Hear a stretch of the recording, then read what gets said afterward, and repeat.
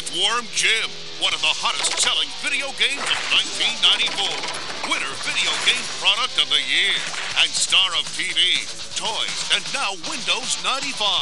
Jim is a plasma blasting superhero, a lean, mean, crawling machine. This worm is bursting with adventures and exploding with attitude through an incredible 20 levels of high octane gameplay. From New Junk City to Buttville. Every level is this totally unique environment, of course, oozing with lower life forms like Psy-Crow, Professor Monkey for a head, Major Mucus, and, of course, Queen Slug for a butt. It's a galaxy of unearthly delights. Earthworm Jim. He's an international supernova fighting for truth, justice, and the invertebrate way. Available for Windows 95 from Activision.